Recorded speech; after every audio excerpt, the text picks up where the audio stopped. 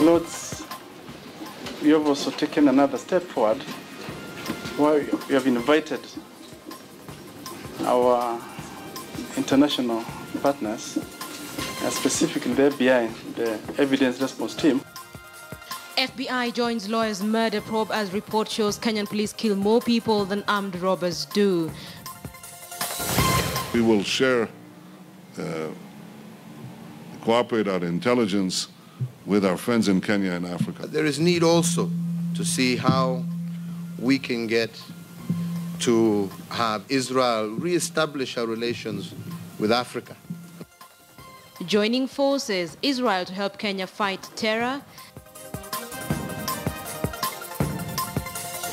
hii ya China at least bei ni nafuu eh, na tena watu wameipenda. Our concern is that the government permitting fish import from China must therefore be seen as nothing less than a scheme to completely kill the fishing industry in Kenya.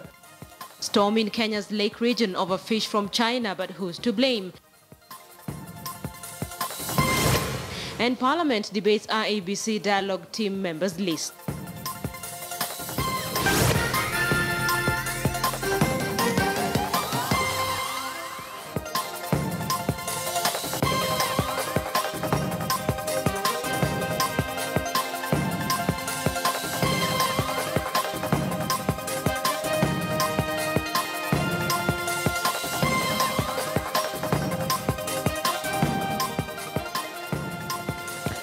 Fifth day of July. Hello there. Welcome to KTN Prime. I'm Linda Ogutu, a sign language interpreter. At The bottom end of your screen is Meresha Owiti. Let's begin this bulletin. And the Director of Criminal Investigations, Ndegwa Muhoro, says because of the complex nature of the murder of lawyer Willie Kimani and two others, four specialized crime investigation units have been put on the case. The DCI Director told the High Court in Nairobi today that the U.S. Federal Bureau of Investigations would also be part of the probe. KTN's Timothy Otieno begins our bulletin tonight. The packed courtroom on Tuesday morning played host to a rare guest, one who patiently sat in the docks as the prosecution argued its case. The events leading up to this moment precipitated by the abduction of three individuals, lawyer Willie Kimani, his client Joseph Mwenda, and taxi driver Joseph Muiruri, whose bodies were retrieved from the Ol Donyo Sabuk River in Kilimambogo at the end of last week. Civil society groups and human rights activists piling pressure on the Directorate of Criminal Investigations to issue a progressive report on the status of investigations, many of whom were citing concerns that the police cannot be trusted to investigate themselves. What we are discussing here, my lord, and you will see from the interim report, there's absolutely no mention of Mr. Muhoro subjecting his report to the Independent Policing Oversight Authority. Yet I'm sure he is very much aware of those requirements. The three killed under suspicious circumstances following their abduction on the 23rd of June. The preliminary report presented to the court by the Director of Criminal Investigations sought to assure the public that credible investigations were ongoing. My lords, we have also taken another step forward where we have invited our international partners, uh, specifically the FBI, the Evidence Response Team. The report in KTN News' possession read in part, quote, Owing to the complex nature of this offense, specialized crime investigation units, namely the Flying Squad, Homicide, Cybercrime, and Crime Scenes Unit have been deployed to expeditiously investigate the various aspects of this case. But it appears the prosecution was not buying that claim. There is no focus on abduction. There is no focus on those officers who may have been involved in facilitating the crime. There is no focus on any officers who may have been involved in concealing the crime. We have reached a level, my lord, where people do not have confidence in the investigations of the police. The prosecution's request to cross-examine Ndegwa Muhoro was not granted by the courts, with Justice Luka Kimaru arguing that the DCI needed time to complete investigations into the deaths. The court, however, requested Muhoro's office to present evidence to the prosecution in order to scrutinize the authenticity of the evidence obtained to ensure the investigation process was above board. The case proceeds Wednesday with a private pathologist, Dr. Andrew Gashie, hired by the Law Society of Kenya, expected to issue his post-mortem analysis before the court. A government pathologist report on Monday indicated that the victims were hit on the head with a blunt object, with the taxi driver Joseph Muiruri and Kimani's client strangled afterwards.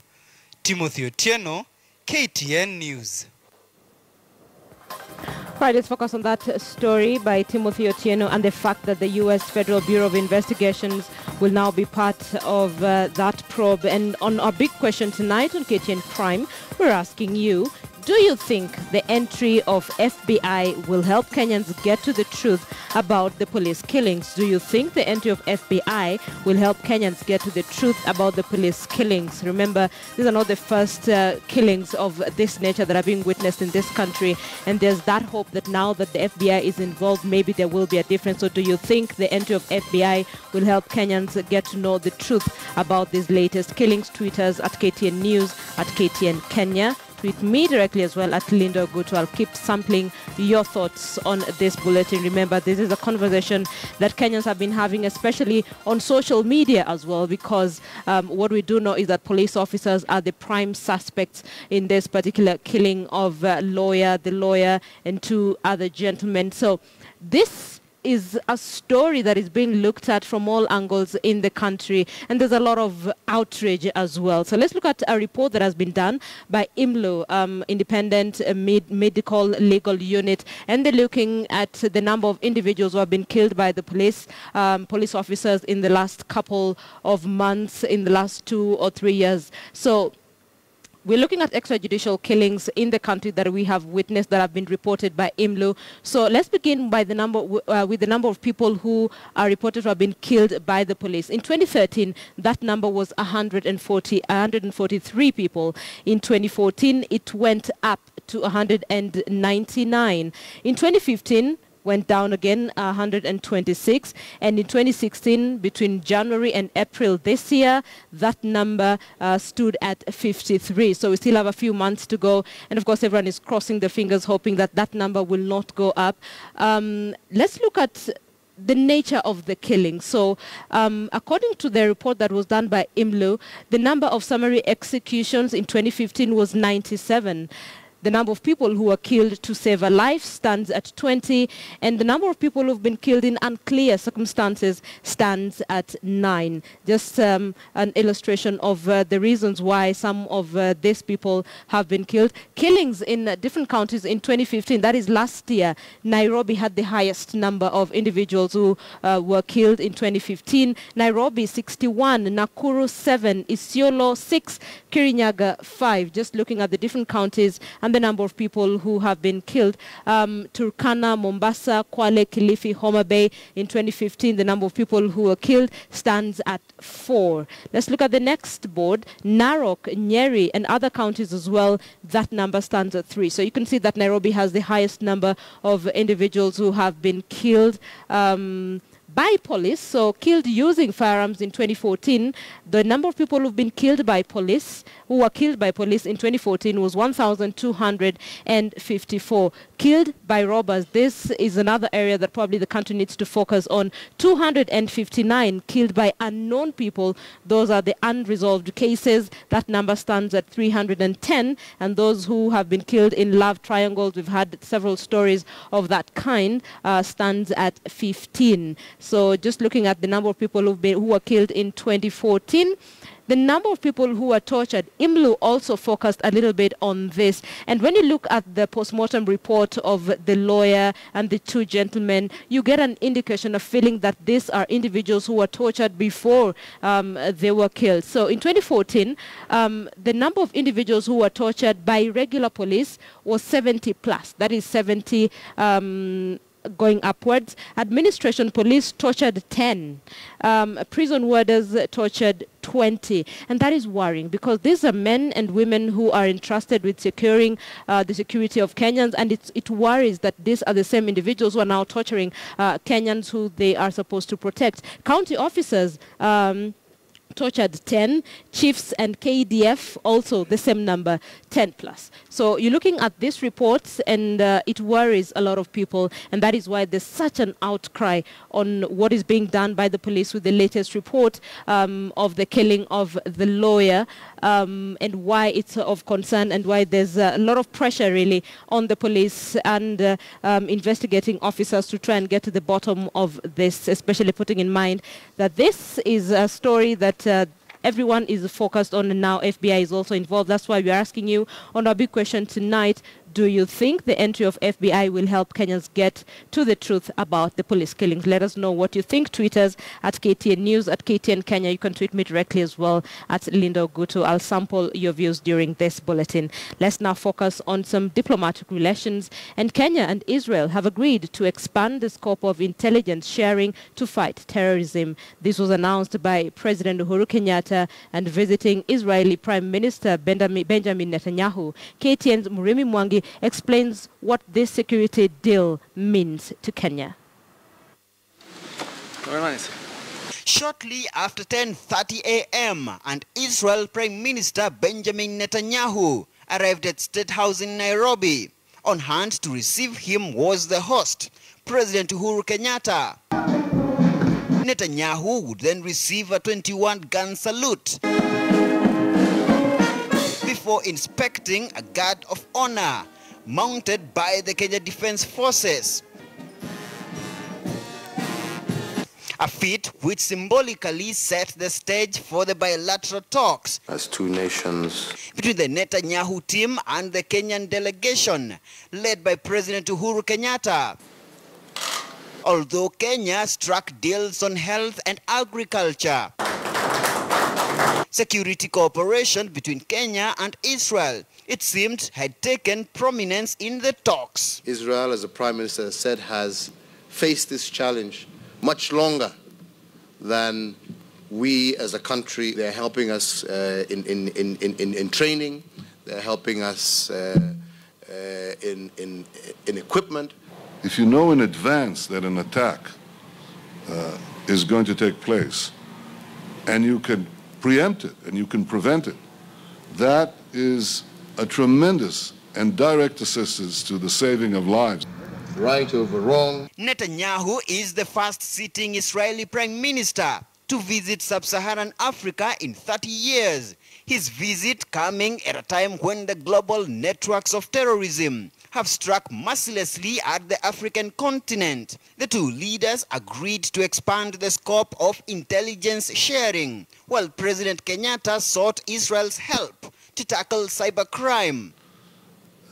Israel is doing this um, across a very wide canvas, uh, and we are we will share, uh, cooperate our intelligence with our friends in Kenya and Africa. At the State House function, Netanyahu sentimentally recounted the dramatic details of 4th of July 1976, when his elder brother, Jonathan Netanyahu, then a soldier, was killed during a hostage rescue mission in Uganda.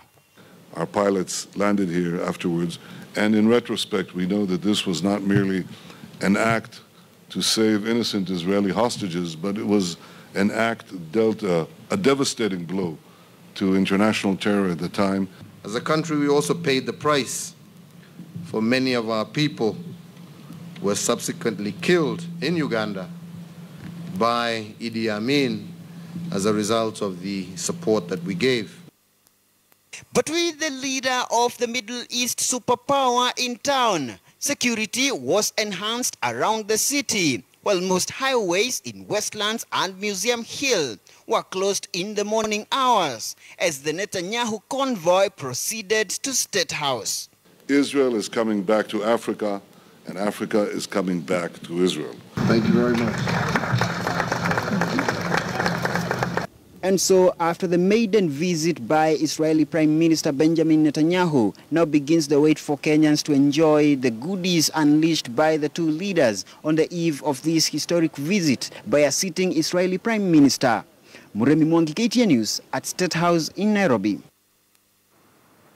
So the Israeli Prime Minister Benjamin Netanyahu did not visit the Galana Kulalu model irrigation farm, contrary to expectations. This was attributed to his busy schedule in the region. However, the future of the model farm remains a key benchmark of the benefits of the Kenya-Israel cooperation. Our special correspondent Alex Chamwada has been following developments on the Galana project.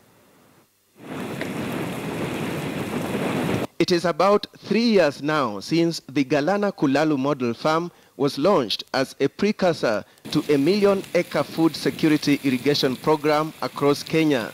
It has had some technical and managerial challenges, but the Israeli government that is funding the project to the tune of 7.2 billion shillings remains supportive with technology and skills transfer being a key component of the partnership between the two countries. You know, Israel is a small country. Uh, it was founded without any natural resources. The only natural resource we had was our, our brain and our heart. And we, we've learned to do a lot, to do more with less.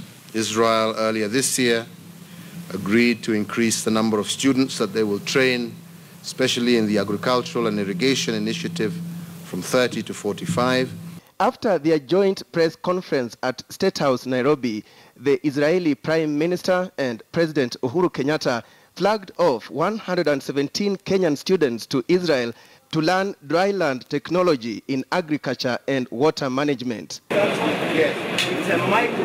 During his visit to Israel in February this year, President Kenyatta toured Kibbutz Farm where high-tech dairy farming and irrigation technology are at their peak. Back home, the Israeli company that is managing the Galana Kulalu model farm, Green Arava, is expected to hand over the farm to the Kenyan government in March next year. What we plan to do is uh, bring in uh, the private sector to run this farm and start kick off uh, the second phase, which is expanding this farm to 30,000 acres, uh, which is uh, manageable using the water available from the river. Um, beyond that, beyond 30,000, we'll need to invest in a dam.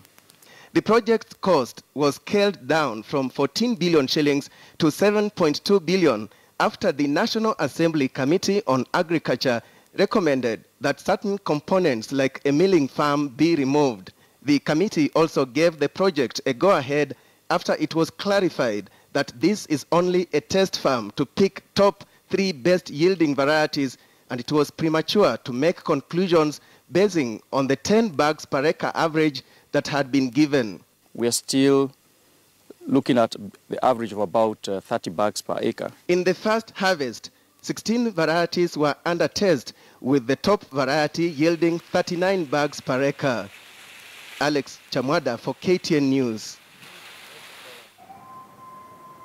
Let's now focus on our Muslim brothers and sisters. The Chief Qadi, Sheikh Sharif Mohdar, has announced the end of the Muslim fasting month of Ramadan after the moon was sighted. He said tomorrow will be the first day of the Eid celebrations that will continue for four days.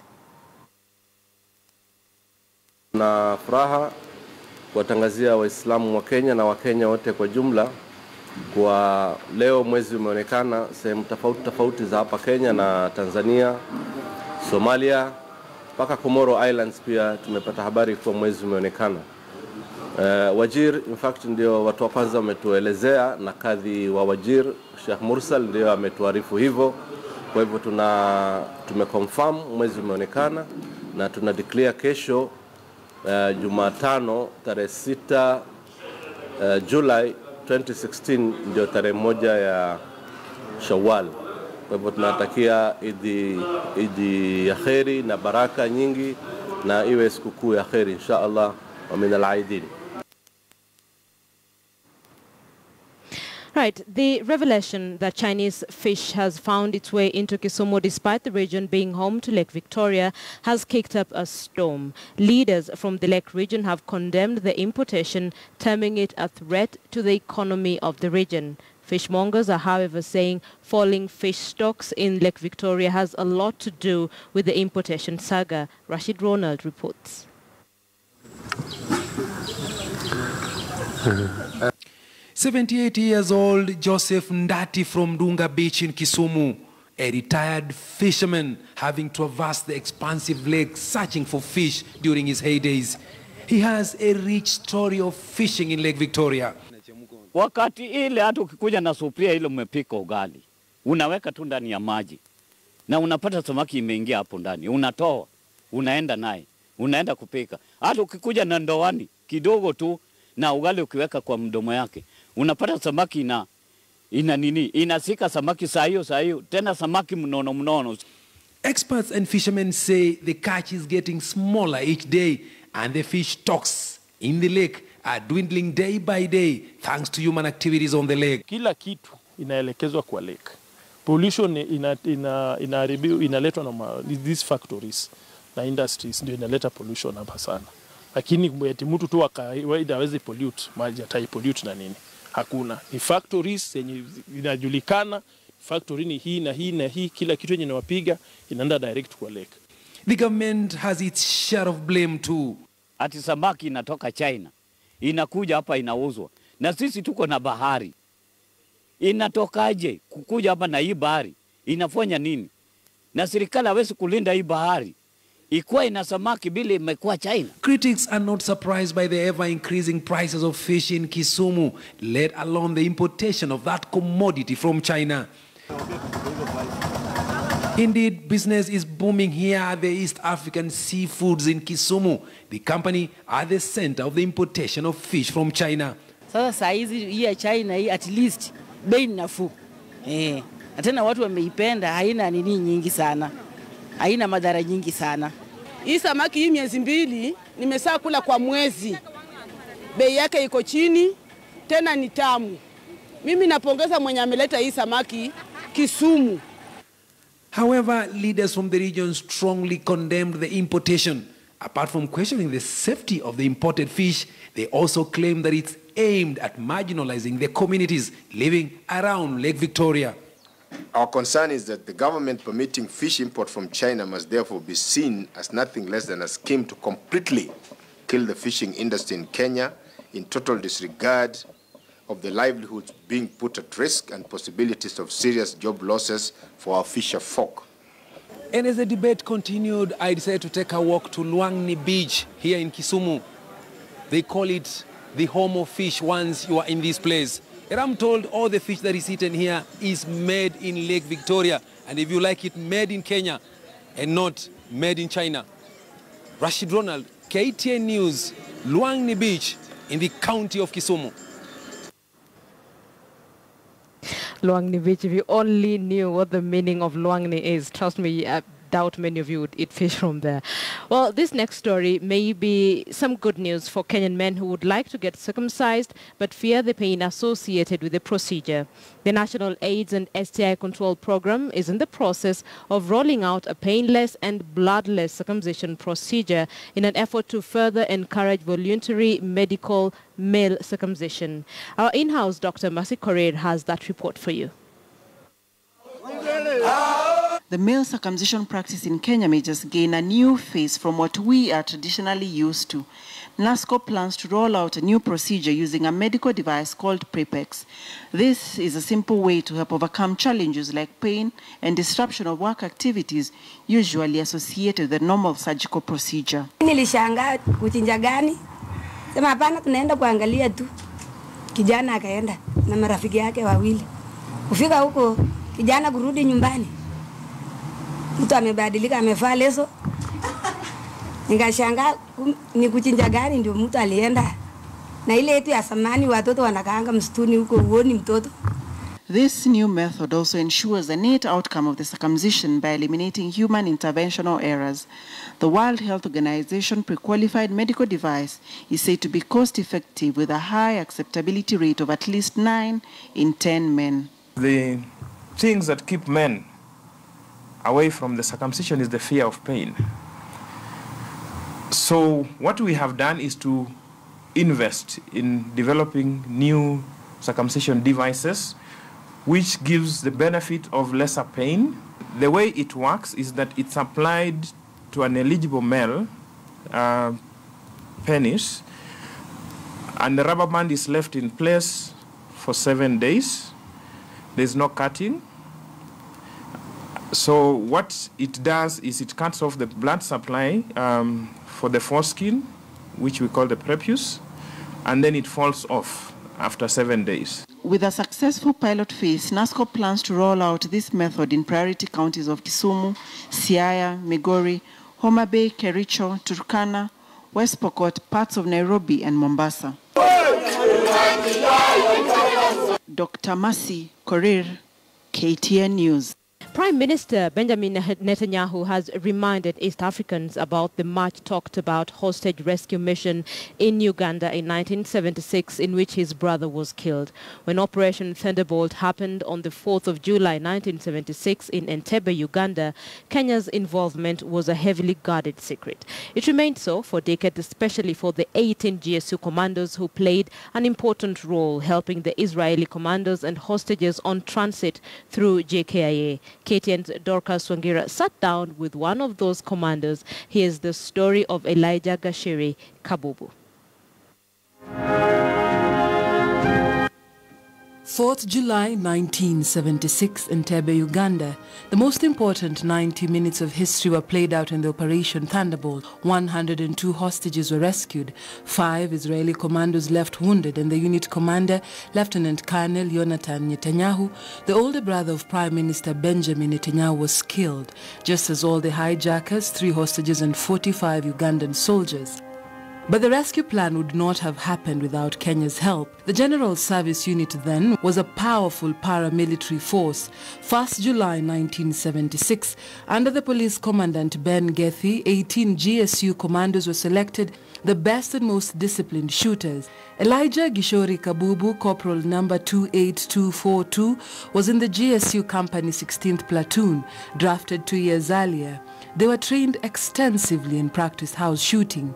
We never knew what we were being selected for. It was only two people who knew about the operation, Jomo Kenyatta and Ben Gethi and the Blue Ma Bruce Mackenzie. On the 4th of July, armed with four guns, two pistols, an AK-47 and rocket propellers, they kept vigil waiting for the planes that would follow Israeli aircraft that had previously landed ferrying doctors. At around midnight, more planes came from Entebbe ferrying the commandos and the rescued hostages. The planes were refueled, the injured treated. The GSU secured the airport. For every one plane, there were three GSU officers to cordon it off. At the same time, another Israeli plane cast light above the secret mission. Kabubu was in charge of transporting five wounded Israeli commandos and hostages from the AC Hercules 130 plane to the passenger plane with doctors. The operation, uh, we finished about two, one and a half or two hours, and all the soldiers of Israel came out. They were cheering, 18 of us. And we were told, whatever you have seen or you have heard, the highest government secret. Because you have done a good job, you shall be rewarded, which we have never seen even today, even this minute. In 1978, Jomo Kenyatta decided that selected GSU commandos would be trained in Israel to handle growing global security threats. Kabubu was chosen, but when he returned as a bomb and gun expert, Kenyatta died. And then he was assigned to the Presidential Escort Service, guarding President Moi, his deputy Mwai Kibaki, and the Attorney General Charles Njonjo. Later, he was appointed as a bodyguard to Ben Gethy. Were you happy now that you had been trained as a commando, then you came back to become a bodyguard? No, no, no. We had feared him because he was strictly of security. Because I was at, uh, at, at uh, Georgios, whom we loved very much by then. Kenya would pay the price for helping Israel. May 24, 1978, Bruce Mackenzie, then agriculture minister, was assassinated. A bomb was attached to his aircraft and it exploded. The Norfolk Hotel, owned by a prominent member of the Jewish community, was bombed on the 31st December 1980. GSU was a paramilitary, and if they are well equipped, they were equipped before they could be a very good. Detained in Naivasha 1995 for a month over the Mwakenya saga, he feared that his expertise in guns inspired a fear in powerful circles. He resigned from the force in 1996. Now, at 61, the father of four works as a decorated security consultant manager. Would it be enough just for people to know that when this happened, that you had been there and you played an important role? The word comes from many, from, from the people's heart. The president himself recognized me that I did a lot to change this country because the, the, the worst Dolokas is uh, at last they detained me. This is a story that has been told to many generations in movies, in documentaries, in films, and the Kenyan part has been left out, and not so many people know about it. Been secret all those years, 40 years. Nature now have realized that, and even Uganda, that's why he's here, to, to, to make that Uganda to realize they were not attacked because of, of, of Ugandans. They were attacked because of the bad leadership, which could put them in more problem. Dorcas Wangira, KTN News, Nairobi.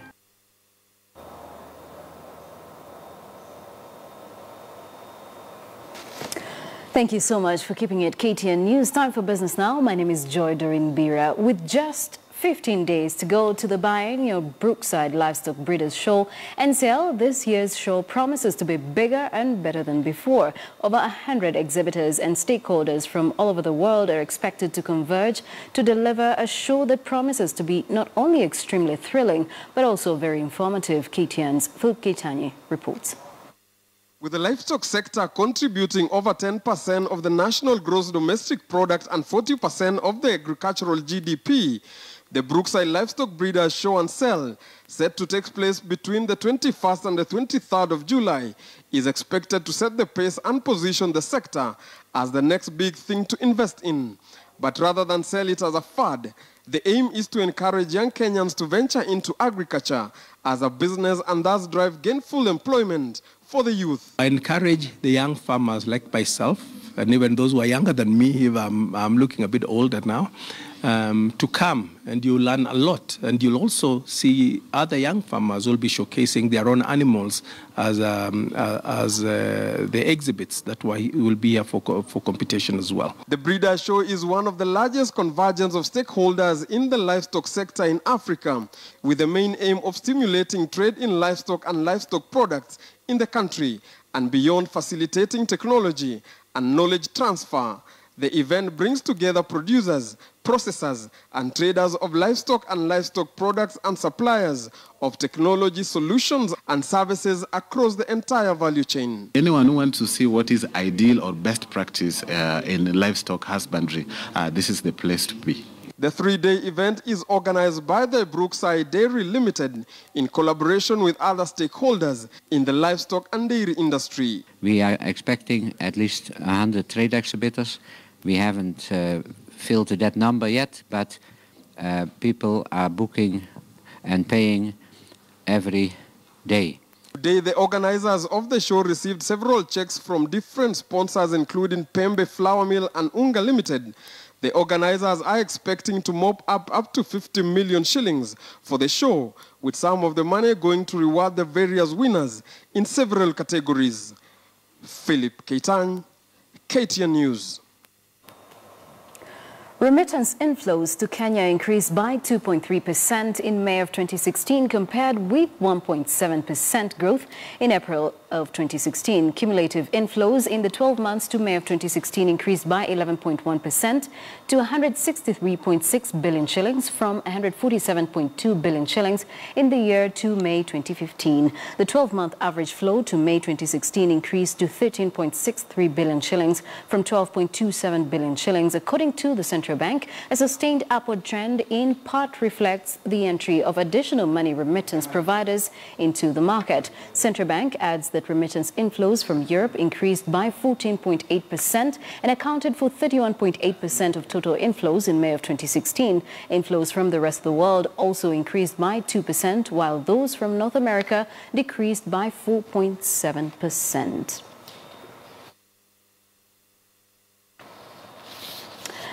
Equatorial Commercial Bank, ECB, has rebranded to Spire Bank as it announced plans to restructure its operations to meet new business requirements and aid the organization in strategically positioning itself for future growth. As part of the restructuring, uh, Spire Bank plans to review operations of its business units to deliver business value and also increase their efficiency as it targets to move from the Tier 3 to Tier 2 in five years. KTN Zabiagina had a sit-down with the bank's chief executive team on the significance of the rebrand from a bottom line perspective.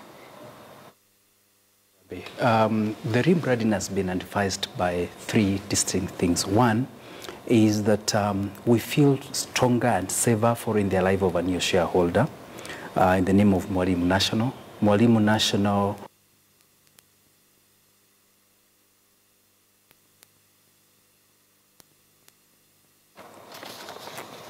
And Spire Bank uh, is actually looking to focus on small and medium enterprises to help them uh, improve their businesses. Now, away from that, uh, bank chief executives meeting under the umbrella body, the Kenya Bankers Association, have called on the judiciary to speed up the settlement of court cases if the business community is to have confidence in the judiciary as well as boost investor sentiments. At least 10 billion shillings is currently locked up in court litigation cases, a scenario that has seen investors lose billions of shillings.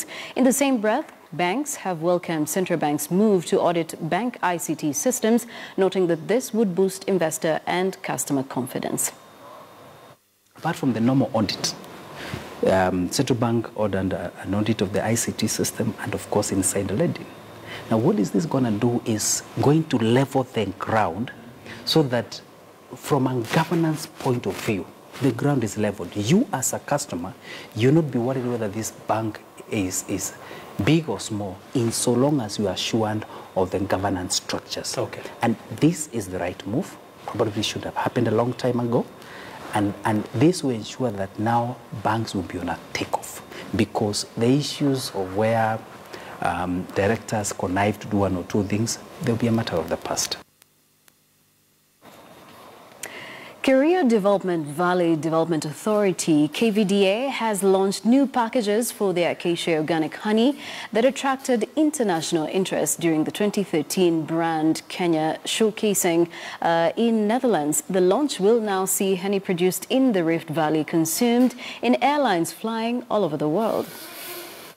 During the launch in Eldoret, Kerio Valley Development Authority Managing Director David Kimosop said the new 20 and 150 grams packages are tailor-made for airlines, hospitals and the hotel industry, explaining that previous packs did not address the needs of the lucrative industry due to their bulky nature. Issue led the way in establishing NOREB as an economic bloc is so that we can get a platform for showcasing um, unique products that are found in Notre, like this acacia honey.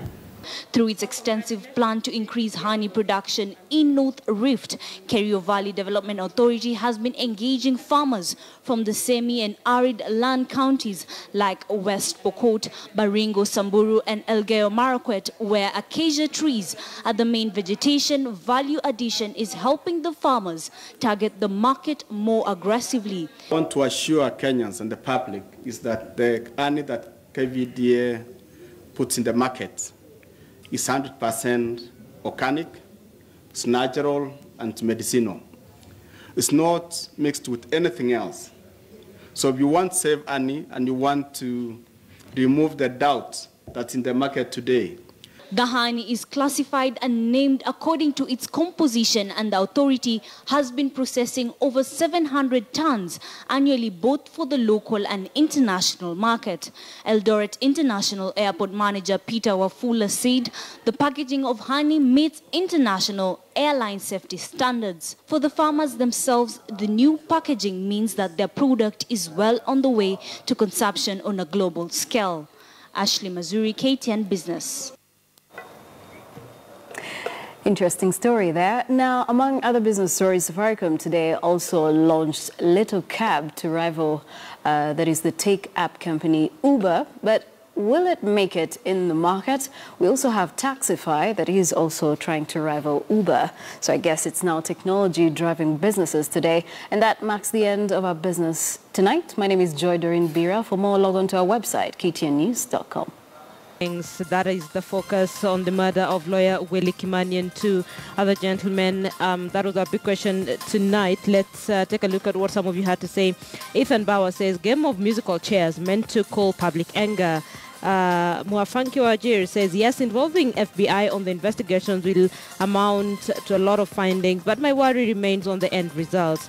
Ben Mugavana finally says, remember Father Kaiser, FBI hit a stone wall. They won't unravel anything. Some of your feedback on our big question tonight, whether or not you think the FBI, the entry of FBI into this whole mystery will help Kenyans get to know the truth. You can look at our Twitter handle at KTN News, KTN Kenya, just to get to pick the minds of uh, Kenyans on the big question. That's where we leave it on KTN Prime. On behalf of Maresha Witty and I, thank you so much for watching. For those of you on KTN News, the last word begins right now with uh, Sophia Wanuna, and she takes this conversation further. The murder of lawyer Willie Kimani and asking the pertinent questions that need to be asked. Will justice ever be served? Will justice be seen to be served in this particular case, even with involvement of FBI? Have a good night.